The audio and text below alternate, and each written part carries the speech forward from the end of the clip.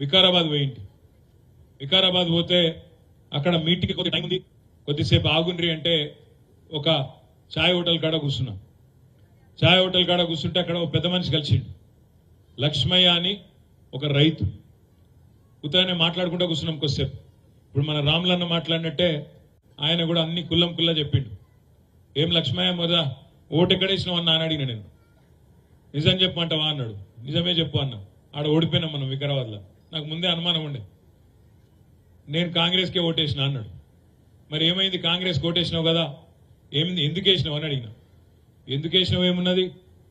పదిహేను వేలు ఇస్తా అన్నాడు. కౌలు రైతులకు సాయం చేస్తా అన్నాడు. కేసీఆర్ పదివేలు అంటే నేను పదిహేను వేలు అన్నాడు. నాకు అన్నిటికన్నా బాగా నచ్చింది ఏంటంటే రెండు లక్షల రుణం మాఫీ చేస్తా అన్నాడు. తెచ్చుకోమన్నాడు.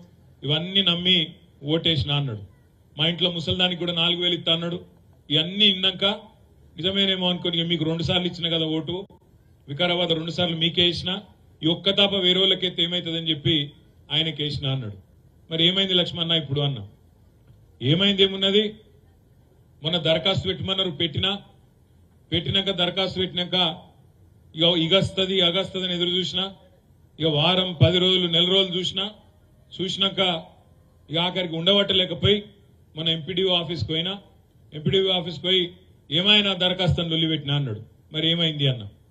ఆ ఎంపీడీఓ గారు నాకు ఏం చెప్పిందంటే ఇగో లక్ష్మయ్య గారు మీరు రేవంత్ రెడ్డి గారు పదివేలు కాదు పదిహేను వేలు ఇస్తానని చెప్పి మీరు ఓటేసిన అన్నారు.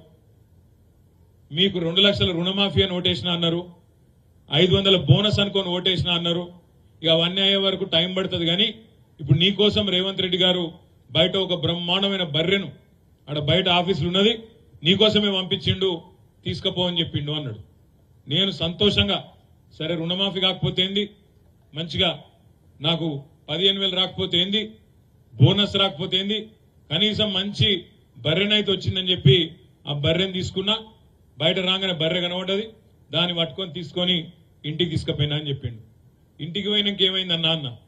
ఇంటికి పోయినాక ఇక సాయంత్రం పోయినా నా భార్యకు చెప్పినా ఇగో బ్రహ్మాండమైన బర్రె మన కోసం రేవంత్ రెడ్డి పంపిండు.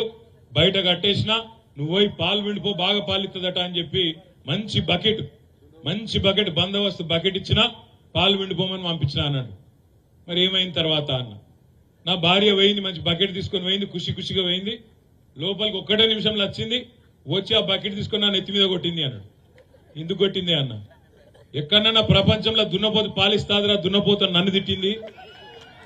ఏం చేయాలి నేను అన్నాడు. మరి నేను ఇదంతా ఎందుకు చెప్తున్నా మీకంటే? ఆ లక్ష్మయ్య గారు ఆఖరికి ఏం చెప్పిండంటే మరి ఏమనిపిస్తుంది ఇవాళ అన్న? ఏమనిపించేది ఏమున్నది? పాలిచ్చే బర్రెని ఇంటికి పంపించినాం.